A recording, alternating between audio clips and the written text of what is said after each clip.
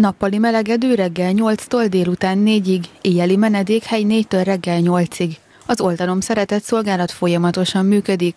A téli krízis időszakban naponta akár 200 adag ebédet is kiosztanak itt a hajléktalanoknak.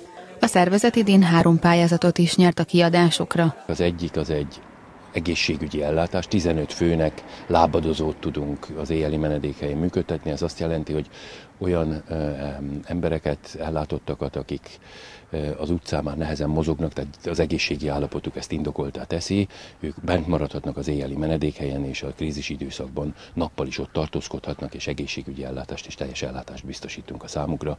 Ezt a pályázatot nyertük meg. A másik, hogy hétvégén az éjjeli menedékhelyen hideg élelmeket, élelmet tudunk osztani, ami azt jelenti, hogy a, az, hogy a hideg alatt az egészségi állapotuk ne romoljon, és egy folyamatban van, még megnyertük, de még, még most nem tud indulni, ez pedig a, az, hogy az éjjeli menedékhelyen meleg vacsorát is fogunk tudni osztani az előttünk lévő időben. November 1-től kezdődött a hajléktalanok téli ellátása, amely jövő tavaszig tart. Ebben az időszakban az országos 9500 férőhely mintegy 11100-ra nő.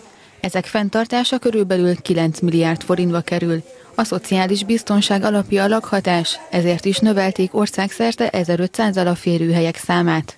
A kiírt pályázatoknál idén azt is figyelembe vették, hogy a hajléktalan ügyi politikának három fontos eleme van. Az egyik az a prevenció, a megelőzés, az a hajléktalanná válásnak a megelőzése, azoknak az utaknak az elzárása, amely a társadalomban a hajléktalanná válást elő tudja idézni, azt gondoljuk, hogy ez egyik fontos feladata a kormányzatnak, hogy folyamatosan ezeket a hajléktalanná válási csatornákat eltömítse, elzárja, szűkítse. A másik fontos feladat, hogy aki viszont hajléktalanná lett, annak ne kelljen az utcán közterületen éjszakáznia. A harmadik lépés a fedél nélküliségből kivezető lehetőségeket megnyitni, azaz a reszocializáció. Ehhez civil és karitatív szervezetek, egyházak, valamint az önkormányzatok támogatása is elengedhetetlen.